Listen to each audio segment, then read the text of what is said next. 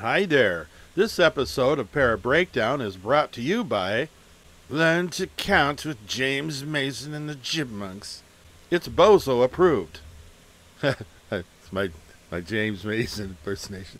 Sasquatch, Bigfoot, or Yeti filmed from a tour boat on Lake Minnewanka in Banff National Park, Alberta, Canada. We are about to board a lovely boat trolling around Minnewanka Lake. It started from this forested port upon this tiny ship. The mate was a mighty sailor man, the skipper brave and sure. Ten passengers set sail that day on a three hour tour. A three hour tour. When suddenly we see what we have all seen before, except this dude is wearing a white costume. What really gets me is that the video keeps going around and around the net over and over.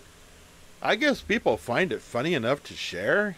It popped up again on one of my feeds, and I thought I should at least put this thing to bed once and for all. So, if you happen to see it around again, please uh, send them a link to this one. In all seriousness, several things struck me off the bat, other than it looked like a dude in a costume. The boat is scooting around along when the tour guide brings the possibility of seeing bear along the shoreline. I, I've only seen a bear twice this season. In this particular spot. As if bear only appear in this location. And the captain slows the boat to a crawl so that everyone can see bear, even though there was a one in a million chance of doing so.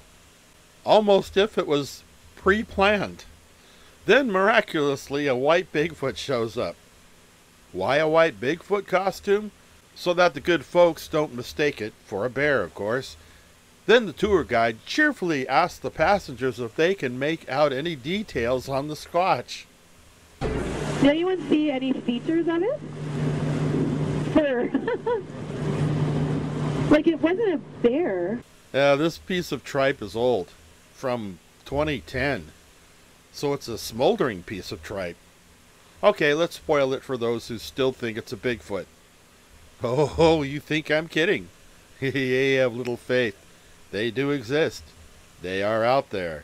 Maybe even watching this very video. Okay, so the tour belongs to the resort, and a member of the resort posted TBT to 2010 when we sent our Sasquatch to prank the Minnewanka boat tour. Back open tomorrow night, folks with a brand new DJ booth. And thanks for watching.